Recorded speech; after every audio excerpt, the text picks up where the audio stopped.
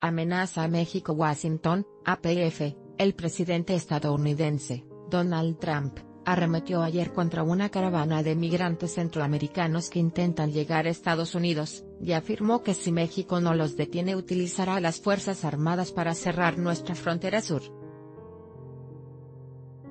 Trump tuiteó que quiere que México frene esta cometida. También insinuó que la situación podría poner en peligro el renovado acuerdo comercial con México y Canadá, que aún debe ser firmado por los gobernantes de los tres países. El mandatario estadounidense no abundó en detalles sobre su advertencia de utilizar a las Fuerzas Armadas.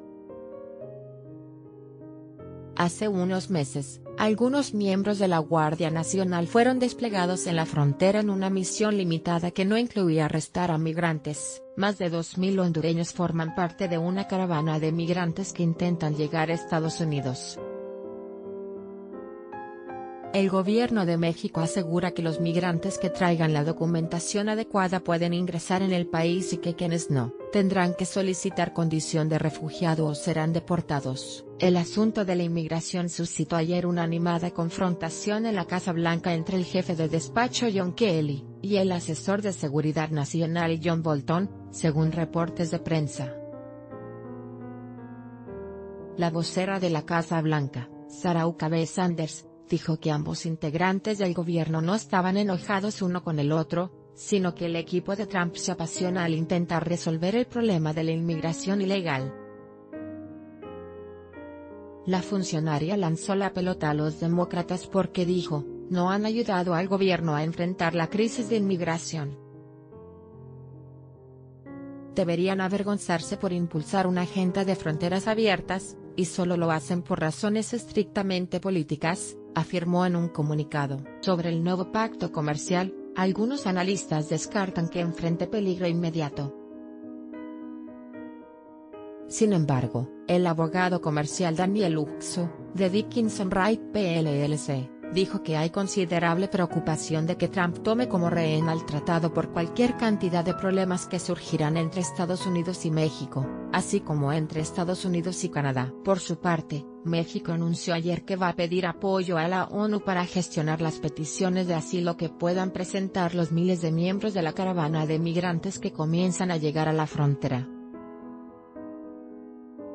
Vamos a solicitarle a las Naciones Unidas su colaboración, su apoyo, para el procesamiento de solicitudes de refugio que puedan presentar los integrantes de la caravana de migrantes hondureños que se aproximan a la frontera entre México y Guatemala, dijo a los periodistas el canciller mexicano, Luis Videgaray, antes de reunirse con el secretario general de la ONU, Antonio Guterres. Resta importancia a Videgaray, mientras, restó importancia a las amenazas de Trump, atribuyéndolas al contexto electoral. En menos de tres semanas hay elecciones, y creo que tenemos que ponderar ese tipo de declaraciones que, por supuesto, a nadie agradan, dijo a los periodistas. Creo que debemos ponerlas en ese contexto y no darles mayor trascendencia o importancia, insistió, subrayando que lo que importa a México son los migrantes y sus derechos. Videgaray aseguró que ese es el motivo por el que su país quiere trabajar con la comunidad internacional para asegurar que el trato que los miembros de la caravana reciban en México sea el que merecen tener. Para el gobierno de México es esencial en primer lugar el respetar y proteger los derechos humanos y la dignidad fundamental de todos los migrantes, y hacerlo bajo una lógica de un trato humanitario y respetuoso, explicó el canciller. Videgaray aseguró que en su reunión con Guterres pediría la colaboración de Naciones Unidas, a través de la Oficina del Alto Comisionado para los Refugiados, ACNUR, para que la determinación de las solicitudes de refugio sea de manera transparente con el apoyo de la comunidad internacional.